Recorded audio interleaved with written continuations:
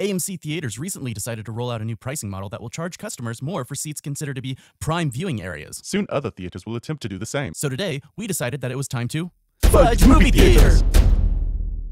Nebulous swine rules. We must sadly take this route. Read between the lines. I know, reading. Ugh. After movie theaters price out lower income attendees, the cinema market will finally collapse from bankruptcy. Then we'll all be left watching movies as they're intended to be watched. I already do. I watch movies from auteurs such as David Lynch, Christopher Nolan, and Steven Spielberg and more on my phone. In 240p. That's the proper way to watch big screen spectacles. Fudge movie theaters! So what's the answer to all of these troublesome, troubling troubles? We return to a time of watching things from a box. How will anyone know what it's worth watching? I guess they could watch a couple of failures talk about movies, but not us. We're in no place to talk about that. What are we? Ah!